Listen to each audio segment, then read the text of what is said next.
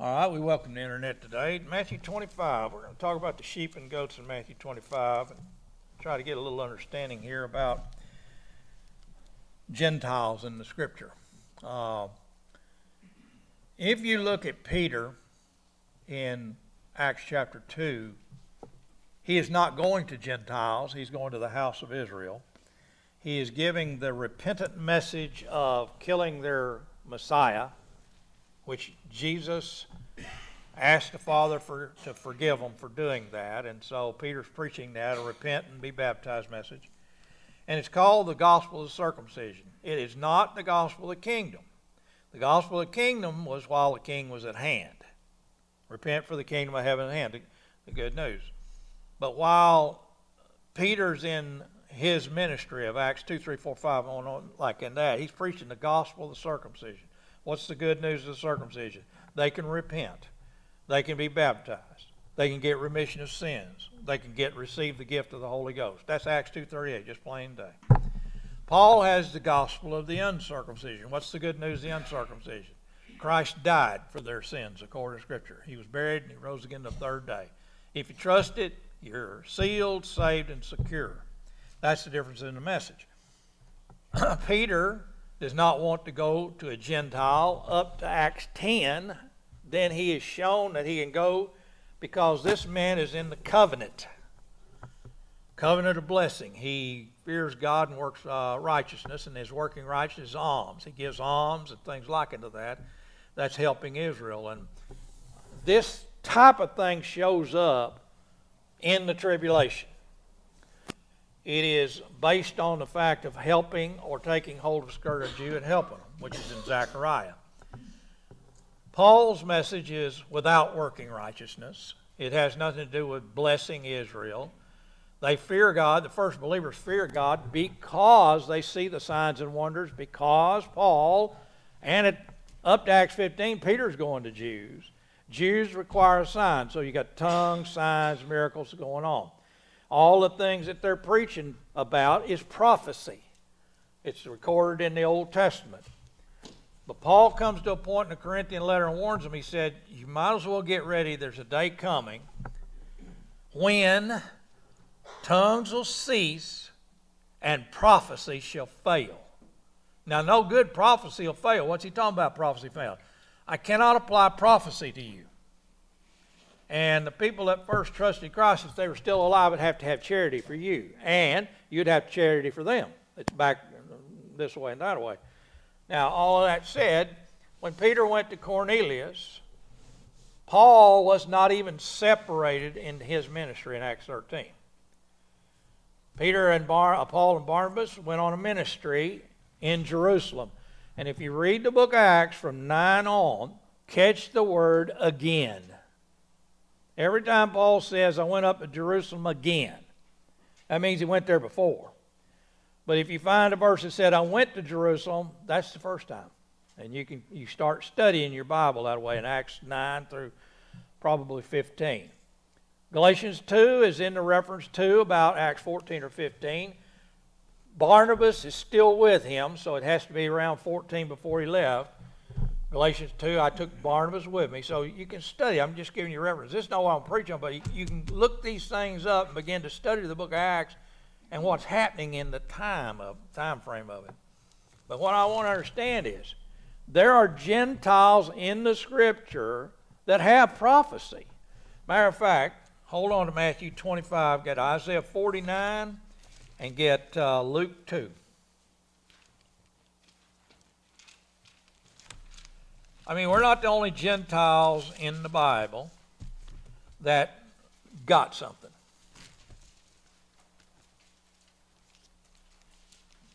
But there's one thing you can understand.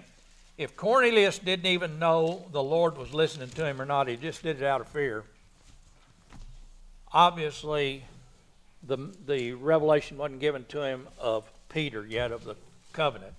And if Peter didn't want to go there, then he don't understand Genesis 12 yet. That's what you got to know. Uh, can a prophet write it down and not understand it? Can a, a preacher read it and not understand it? How does that to be revealed? By the Spirit. by God, the Spirit of God, right? So if Peter has a vision on a rooftop, and he's visioned that sheep down, got all kinds of animals. He don't eat them animals, folks. He ain't like us. I mean, he don't eat bacon, he don't eat ham, he don't eat catfish. He don't eat those things. They're unclean to him. And he is a law-abiding traditionalist, I guess you could say, yet he's a law-abiding. And he doesn't, so when this sheep comes down and the Lord said, rise, kill, and eat, it's like, no. No. It'd be like you, somebody tells you, go over there and bow down to Buddha. You ain't going to do that. You know better. Well, he knows better. He said, No, I, have never, ne- never eat or touched or anything common or unclean. The Lord said, Don't call that what I've cleansed common or unclean. It does it three times with him. Well, you think that settles the issue. And no, after that's over, he's still sitting there going, What did that mean? And here comes some men. They said, Come over to this man's house.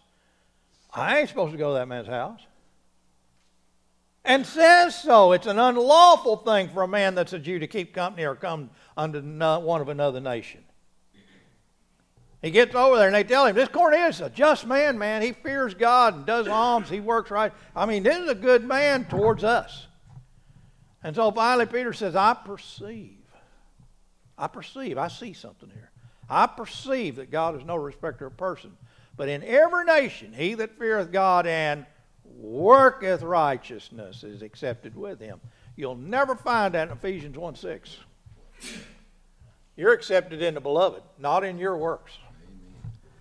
And so he he doesn't even understand, even though the vision's been given to him, all that, he's willing to go because he, God has told him go, but he don't understand it till he gets there, and then a perception comes. I see, well, this man isn't as bad as I you know there was a man, I think Brother was telling me about one time in the Navy, that was a Jew that joined the Navy, and he had never eaten anything like the Navy serves. And the first time he ate ham, he threw up. He never eat ham. And he thought, it wasn't the ham that made him sick, it was the thought of it. See? Sometimes we get sick for eating things. I was preaching a Bible class in uh, Mount Ida one time, and this kid was sitting, I remember he's sitting right there. And gritting his teeth and angry with me because he didn't eat unclean things. He wasn't a Jew, but he just didn't know that. So we had a wedding, and I was called to do the wedding, and that was his daddy that was getting married again. And they served dinner there. And the white meat he thought was chicken was pork. And he was a scarfing it up, boy. I mean, he's getting on with the program, had a good smile on his face. And my, the, his daddy, my friend, said, "How you like that?" And he said, "Oh, it's good." He said, "Yeah, that's pork." Started trying to make himself sick, though he'd throw it up. Now that's how serious some people are about things. Orthodox, Reform, and conservative Jews all have different thoughts of things, but there's some people won't eat nothing like that. You understand? They're they're orthodox on this. So Peter said, I never did that, but now I perceive this guy's all right. This guy's helped us a lot.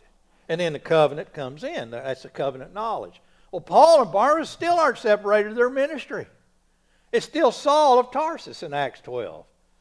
But they went up to Jerusalem and delivered a bounty given by the Gentiles who fear God and work righteousness. They're not told to sell out, supply bounty. You know what they're called in the scripture? You know what they're called? Christians.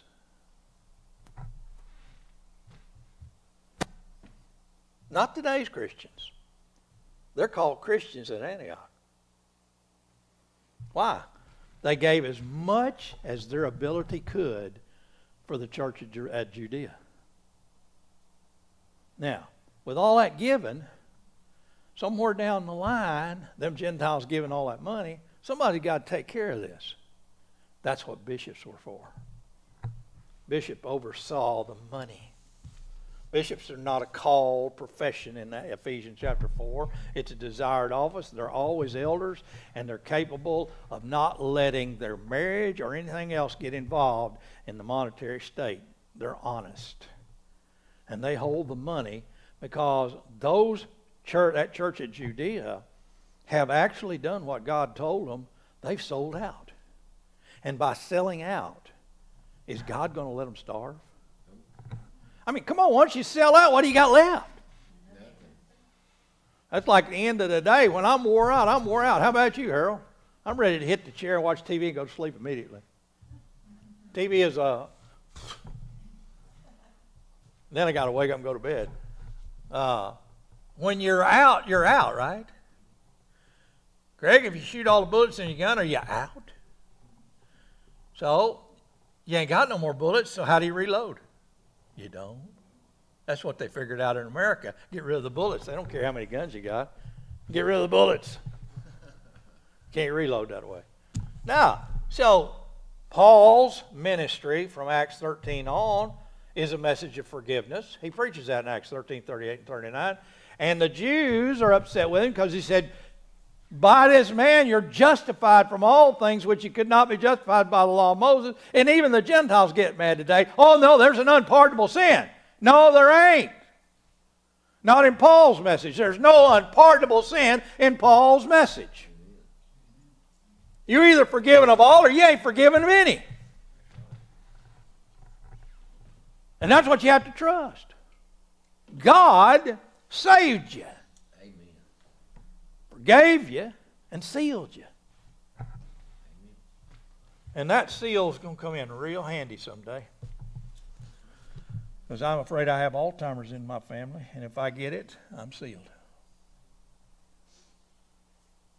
If you were challenged today, if somebody took your child, Bonnie or Molly or one of your children, came in your house and said, Deny the Lord or we're going to skin them. What you got to do? You ain't got a gun.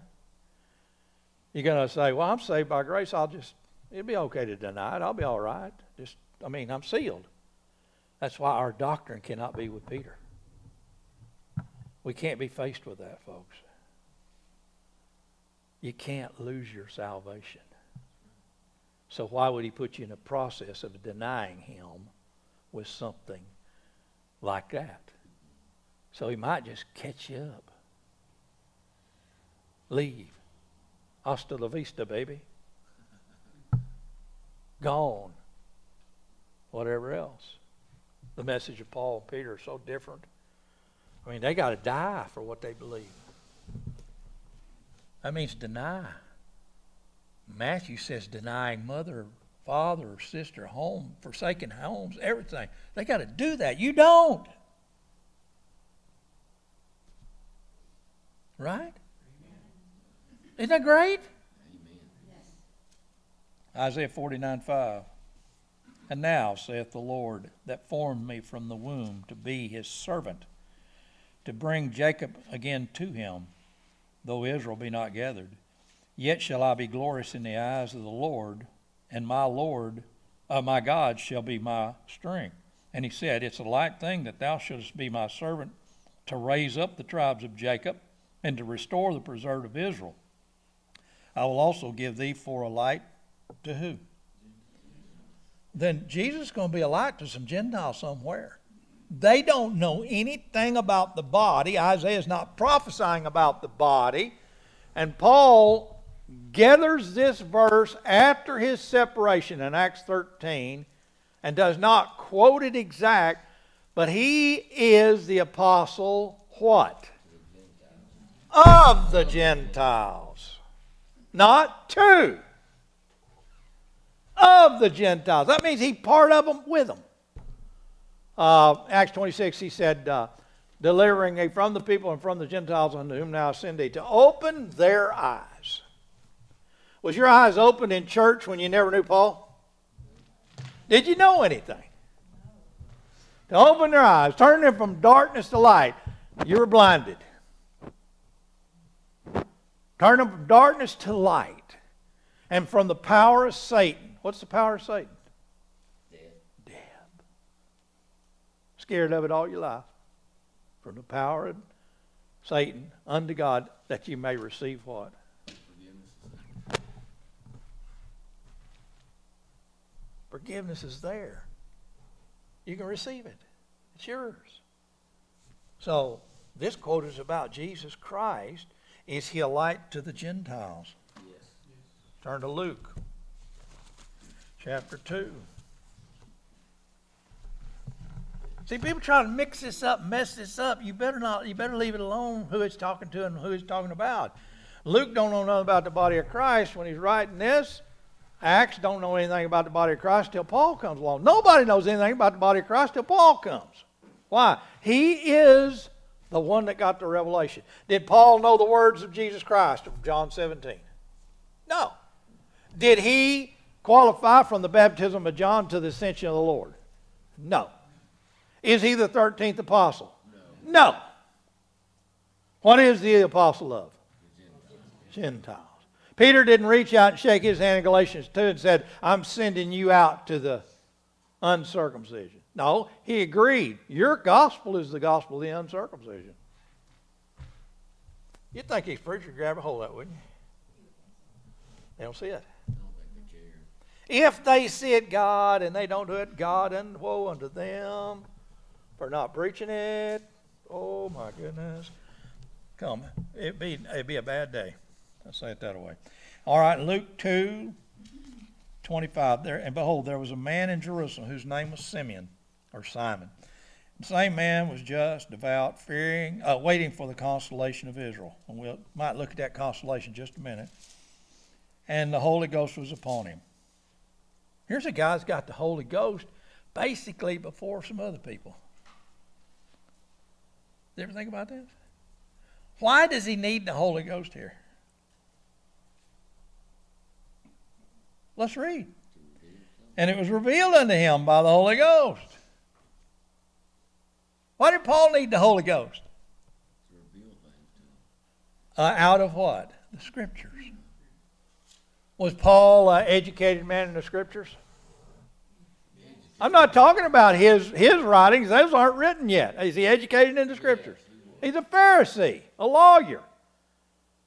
Uh, he told Timothy, he said, uh, Lois and Eunice have given you scriptures that are able to make you wise unto salvation. Let me explain to you, Timothy, and you'll see what the scriptures were saying. Are you with? The day you were born, the gospel was already there had to be revealed to you. How shall they call on him in whom they not believe? And how shall they believe in him without, uh, without hearing? How shall they hear without a preacher? And how shall they preach except to be sent? Steve would ask me one time, he said, Why do you want to go to Selma? I said, I guess because I want to, and I guess God will send me if I go. He said, Okay. Been here, what, 28 years, nine? I don't know. Been here a long time. Why? Because it's sent.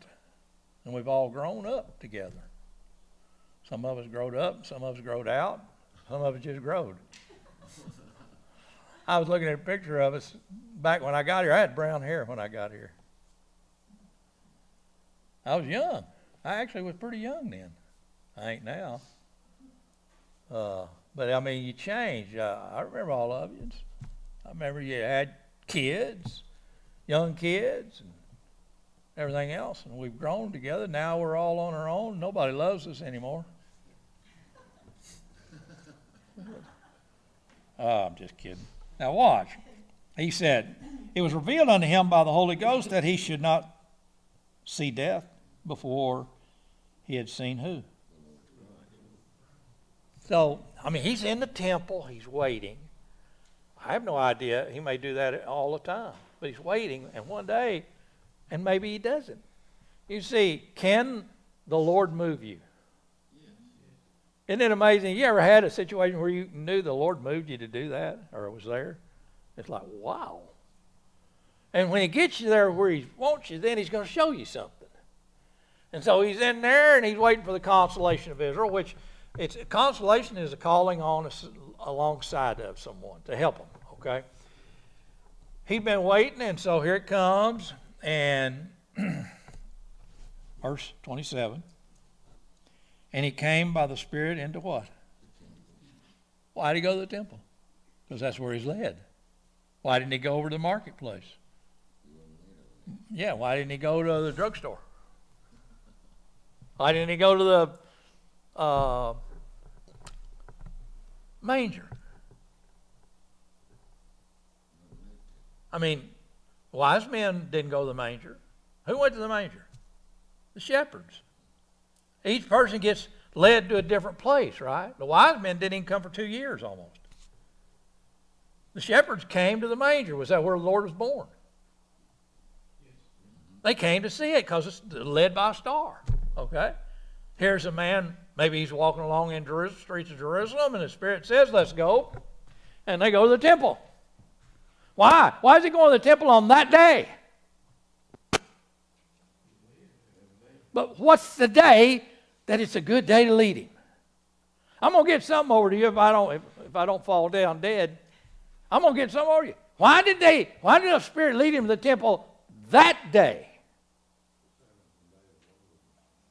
To do what? What was his mother and Joseph going to do? circumcise him. Made of a woman, made under the law. Does God know? God says, go over there and wait. So, got the next verse. And, and by the way, did the Lord know where Saul was on the road to Damascus? Does he know where you're at? Did he know where to put you the day you needed salvation? Did he know where to put the preacher in front of you? Did he know what he wanted that preacher to preach? See, I hear these preachers say, I got to get a message together. No, you don't. The message already written. Pray to the Lord, read and study, and it'll come out. Boy, it'll just come out. My problem with reading is I can't read without jumping here and to and fro because of the verses are swinging to me, and I want to write them down because I can do an outline, man. Don't do any good. I can do an outline. God says, You're a really good outline fellow, but I'm not using that today. Thank you.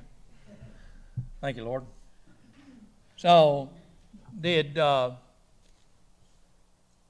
I mean, did Paul try to go to, I think it's three different times to different places, and the Lord wouldn't let him? Was there reasonings? Yes. Okay, now watch. And he came by the Spirit into the temple, and when the parents brought in the child, Jesus, to do for him after the custom of the law, then took he him up in his arms and blessed God and said, Lord, now lettest thy servant depart in peace according to thy word. For mine eyes have seen thy salvation, which thou hast prepared before the face of all people, a light, listen, to lighten who? And the glory of thy people Israel. So, again, Gentiles going to have light? Okay?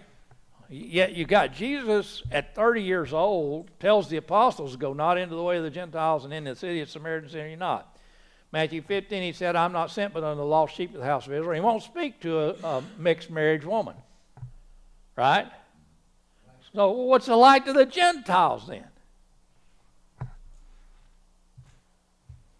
The woman said, Could you heal my daughter? Wouldn't speak a word to her. The disciples wouldn't speak a word to him, her. And he said, I'm not on, I'm just sent to the lost sheep of the house of Israel. Yea, Lord. Then he tells them, he said, It's not fit to cast the bread, the children's bread, to the Gentiles. I, I don't want to get that. Matthew, hold on. I got that. I want to make sure I said this right. Uh, children's bread to the dogs. I apologize. I'm thinking Gentiles. Uh, Matthew 15, 26. He answered and said, It's not meet to take the children's bread and cast it to the dogs. What, what bread?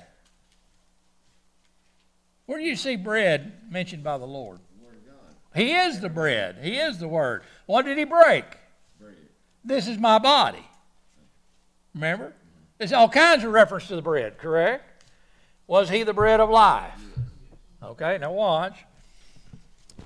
And she said, Truth, Lord, yet the dogs eat of the crumbs which fall from the master's table. Where she put herself? Willingly. Dog. Absolutely. Below the table, getting the scraps. Are you with me? Acts 10. Israel's been dealt with for many chapters 2, 3, 4, 5, 6. Paul isn't even have, appearing till Acts 9. Acts 7, Stephen preaches to Israel. Said, You stiff necked, uncircumcised, hardened ears, you do always resist the Holy Ghost. Not blaspheme, resist the Holy Ghost. It's offering you something and you resist it. If they'd accepted it, then they have the chance of blasphemy. But no, no. They blaspheme against the Son of Man. They do not receive. They're against the Holy Ghost. What shows up in Acts 8? A eunuch. What's a eunuch not allowed in the Old Testament? He can't come in the holy place. Man lost his stones, not allowed. Okay? What shows up in Acts 9? Saul, a blasphemous little, pestilent little person who is fearful. What showed up in Acts 10? It sounds to me like the crumbs are being dropped. Am I missing you? The nation of Israel, their last offer looks about Acts 7 because Stephen, they stoned him to death over it. And he prayed for them for forgiveness. What's in the law? Thou shalt not Could there be somebody coming along a little later where they're justified from all things which they could not be justified by the law of Moses? And it looks to me like some of the dogs are getting the crumbs. Right? And in Acts 12, because Peter opened the doors to the Gentiles, Jesus being a light to the Gentiles, with the message of the resurrected Savior, Son of God, are getting hungry. But the Gentiles that hear that message have got money. They have an ability. And if you read Acts, they gave as much as their ability could. And the money was gathered together. And there's Saul and Barnabas delivering it to Jerusalem. You with me? And in delivering it to Jerusalem, God's not letting the people that sold out starve. They continue to get support. When that church dies out, will there be any support needed after that? Then there's no need of bishops any longer.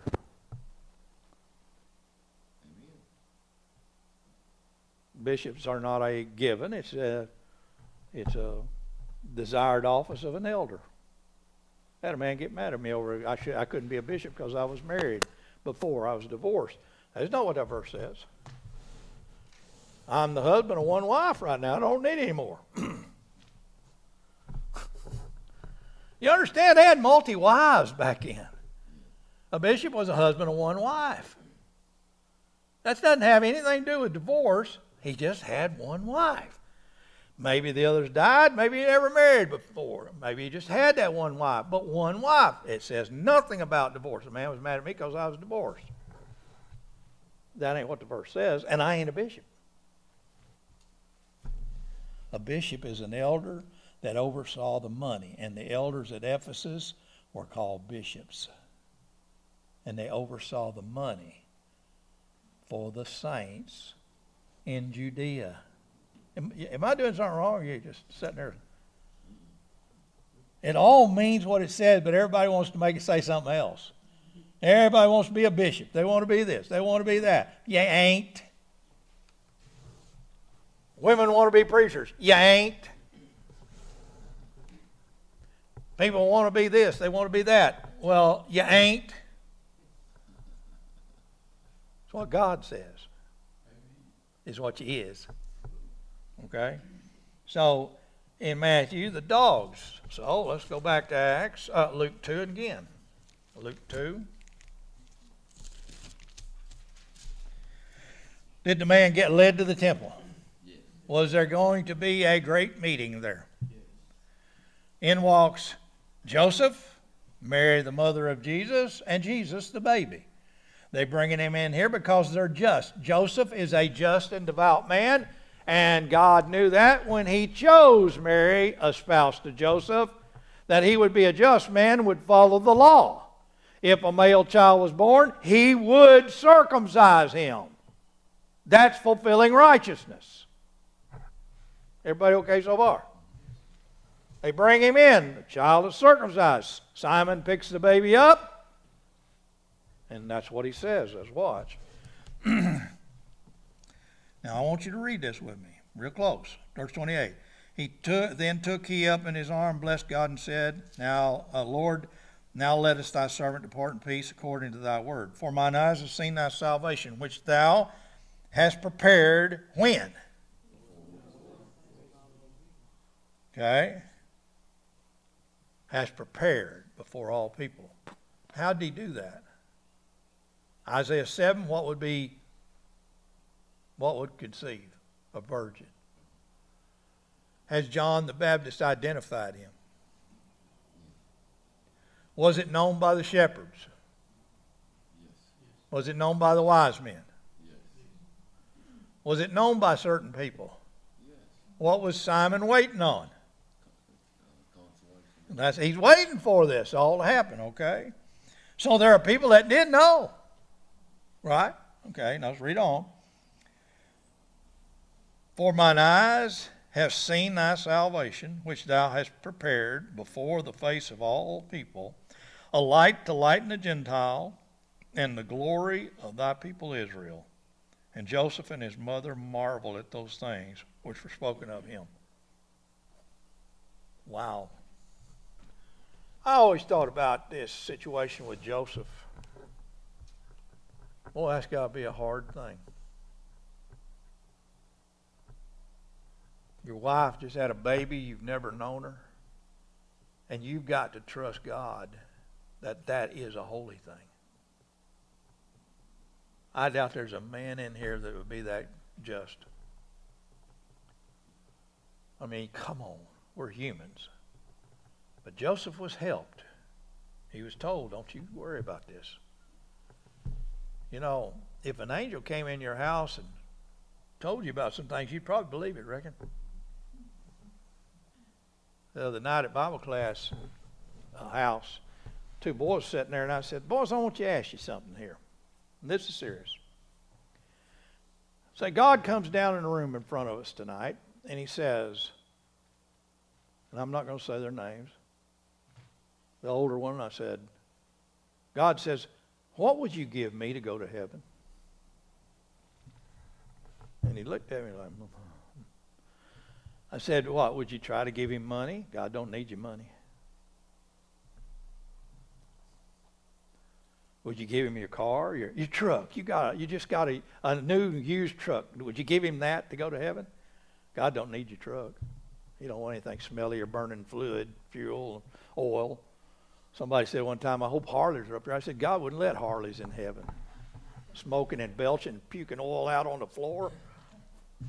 Clean that mess up. well, you can't give him your truck. That's your prized possession right now. You can't give him that. that no, I don't need your truck. Would you give him a suit, clothing? No, he, he don't need that. I don't give him a house. You know, give him a house. I don't need your house. What would you give him? I don't guess I got anything. So I asked the other brother. Well, he, he's dead in the water. I mean, it's like, I don't know, man. So I asked the mother, and she's going, mm. So I asked the daddy, and he said, I ain't got a damn thing. I said, okay. How about faith?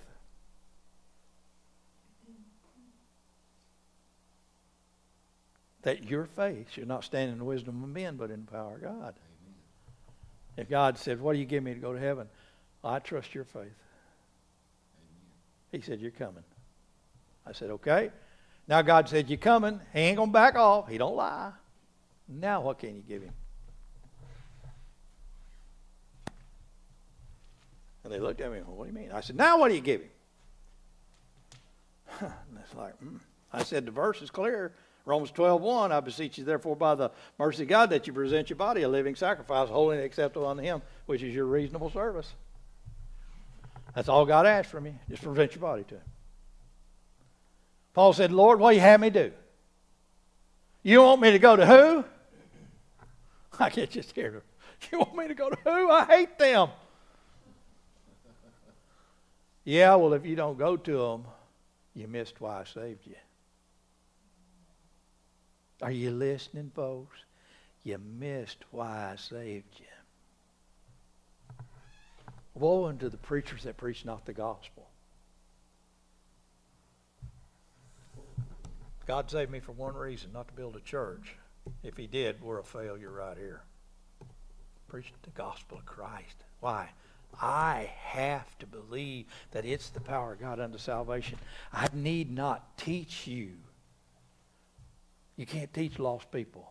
If you're saved, I can teach you. But the gospel of Christ is the power of God unto salvation. It'd be worthless to preach any Sunday morning that I don't mention that Christ died for our sins according to Scripture. He was buried and he rose again the third day according to Scripture. Paige was glad about that one night, wasn't you? I'm telling you, it's the power of God. It's so simple. It's power of God, buddy. He can enter it. If the Spirit can move Simon to talk and go, the gospel can move you. And you know what's wrong with people? They're ashamed of it. Paul said, I'm not ashamed of the gospel of Christ. They're ashamed of it. There are things that make them, well, I don't want to tell people that. That's just going to cause hard feelings and everything else. Well, let them go to hell? Is that what you want to do? The service and the ministry of the body of Christ Everybody has a different ministry, but you better get on with whatever your ministry is. And you don't know what it is, you better find out. You better find out what your ministry is and do it. And do it cheerfully, willingly. Folks, it breaks my heart some days here in Selma when I come in here and they've got three or four people. Breaks my heart. Does that make me mad at people? No, it breaks my heart. Because the fellowship. It breaks my heart when people don't want to have fellowship, when they don't want to study, they don't want to lay their book open and read, because you ain't getting it at home on the TV. You ain't getting it on the radio. You're not getting it out there in the world. There ain't nobody coming up to you and talking to you about the grace of God and the dispensation of grace. You have to come here or go to a conference. Well, I set that conference up in Arkansas to, to make it where we all come together and have fellowship and have a good time together and study and fellowship together. Maybe drink a little moonshine. No. Folks, I don't care about the stuff that religion. I hate religion. I don't hate people, I hate religion. Well, this man, Simon, is led to the temple. Do you realize what he picked up? The Son of God. Do you realize what you picked up this morning to come to church? The Word of God. Do you realize what's in there? Your knowledge. And God is giving you His Word. And He can't lie.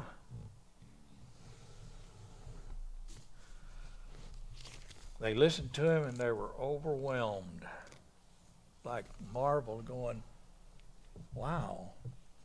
You know, sometimes you're given something in life and you really don't know how great it really is until you meditate on it. Philippians tells us to meditate on these things. We never realize that somewhere down the road it's going to mean a whole lot to me. My daddy told me, he said one time, if it ain't got fire and gas, it won't run. And he's right. I just don't know how to get to the fire and gas anymore. Computers do it. But it's still fire and gas, folks. That combustion chamber is not going to blow up until there's fire and gas in there. Now, Mike got a little different situation. His don't work unless it's compressed. Diesels are compressed. They don't fire, they're compressed and they blow up. That's why they're so good in boats and everything. They're not nearly as flammable as gasoline. But my daddy said something else. He said, if it ain't broke, don't fix it.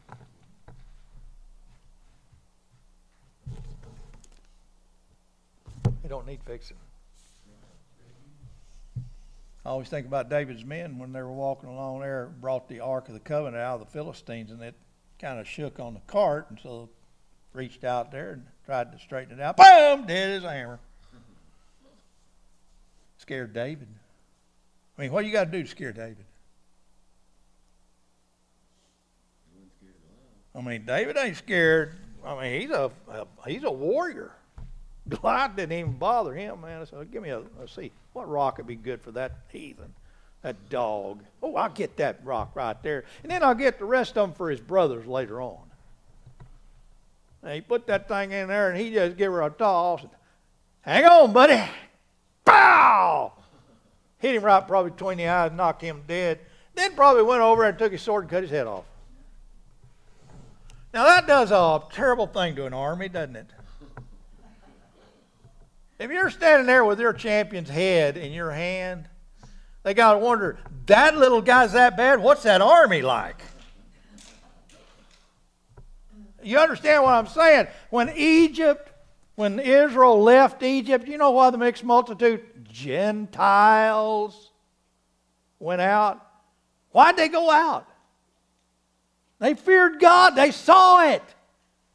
And they thought, if he did that while they're here, what's he going to do to us when they leave? Did I miss you? What's he going to do to them, you know, when we leave?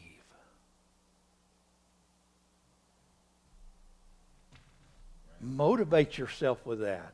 Do you say, I love that person? How many times you give them the gospel, or how many times you talk to them about the gospel?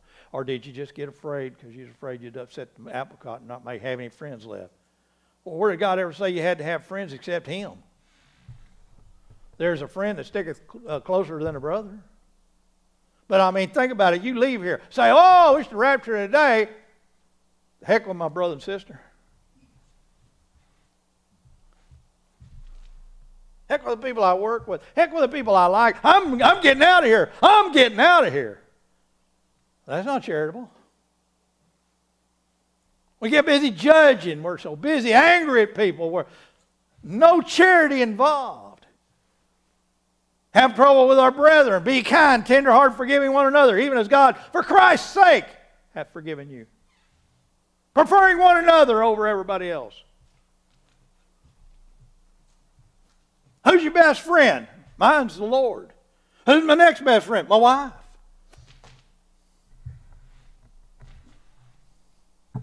My wife gave me my children, the Lord saved my children. Why did He save them? Because the power of God and the will of God was the gospel of Christ. Took Susie a long time. She's stubborn. Robin got saved in a strange way on a highway.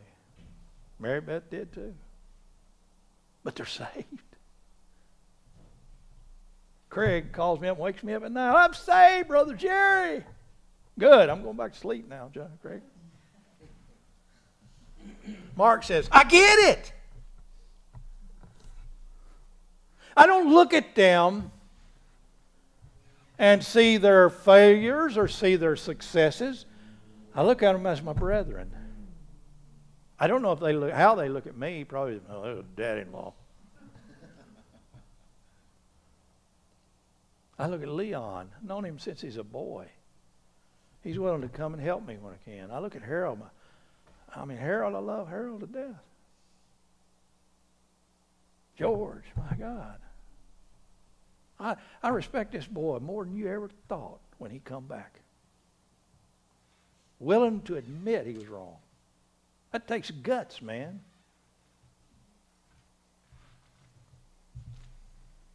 Mrs. Bearden back there, known her for a hundred years. Very faithful woman. I look at Mrs. Swindle. I look at her and think of her and her husband. How did Mr. Swindle come back, got saved? That took guts too. I look at my children. I want them to be saved. My grandchildren, I want them to be saved. I look at all of you in here, your brethren. I want you to be saved and secure and sealed. And I want you to hear the Word of God. And I want you to wait patiently. Because when God takes us out, it is not going to be nice. It's going to be horrible. The world has no idea how bad it can get until the rod of anger comes on the earth. In the middle of the tribulation, woe unto the inhabitants of the earth, for he has come. Satan comes literally to the earth to wreak all kinds of havoc. And your God saved you from it.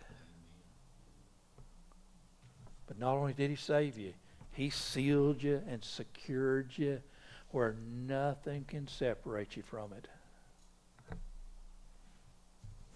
And you don't have to worry about being sheep and goats, which I didn't get to today, but we will, Lord willing. You're not sheep and goats, and you're not working righteous Gentiles. You are the body of Christ, members in particular, having a ministry that you ought to be doing, doing it with joy and rejoicing.